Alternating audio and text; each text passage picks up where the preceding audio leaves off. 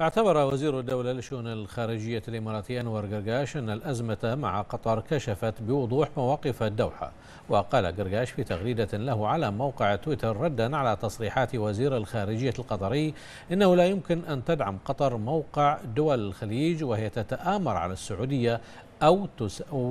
أو أن تساند العرب ثم تكيد بمصر أو أن تبحث عن موقع عالمي وهي تدعم الإرهاب.